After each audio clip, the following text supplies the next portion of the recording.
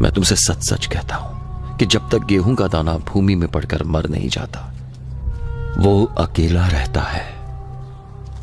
परंतु जब मर जाता है तो बहुत फल लाता है।